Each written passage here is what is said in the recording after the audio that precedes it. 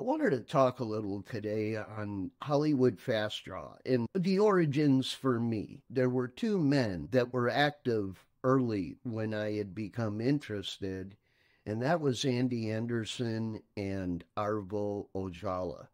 Andy had died early in the 1980s, so I never really had an opportunity to actually speak with him or to get to know him.